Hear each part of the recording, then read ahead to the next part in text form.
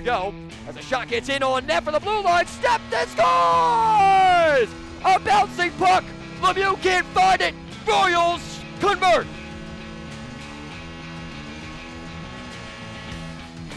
Zach Bertuzzi, his first game as a Royal, nets his first tally. That puts the Royals now centering a cross crease feed, and the Wings answer back. Ty Glover sets up in front.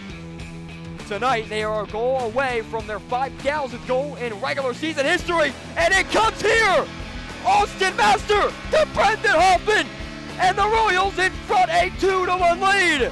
Brendan Hoffman, his 14th goal of his Royals career is the 5,000th goal in Royals franchise history.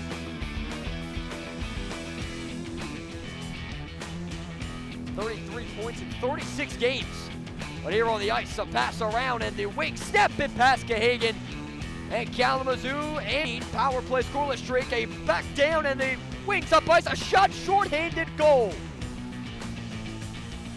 Net that first as a Royal. Side was with the drawback. Nardi centering for Brown. Gets it in a goal. Bertuzzi top shelf. Scores!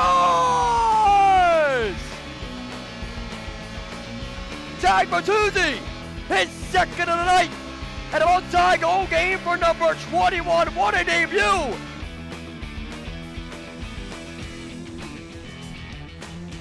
Kalamazoo will take the first rush off the, draw in on goal, and it will convert a backhand shot and scores. Erik Bradford around the sprawled out Parker Gahagen. A bouncing puck, Royals can't clear it.